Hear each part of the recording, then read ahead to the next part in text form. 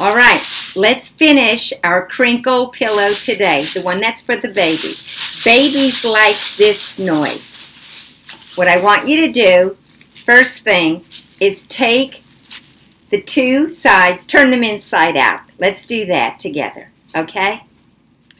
And don't forget, you need a pencil for the corners.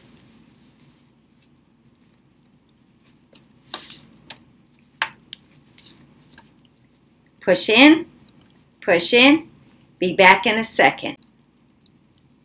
Did you get it? Did you push the corners out with your pencil? Good. Okay, get your bag.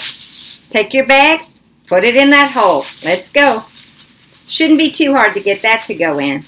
If you have room for a second bag and you have a second bag, third bag, put it in. This is the noise. All right. Have your needle and thread, which is a lot longer than my needle and thread.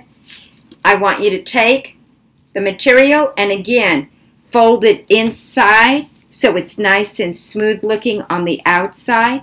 If you have a pin, and you should have a pin, get that pin.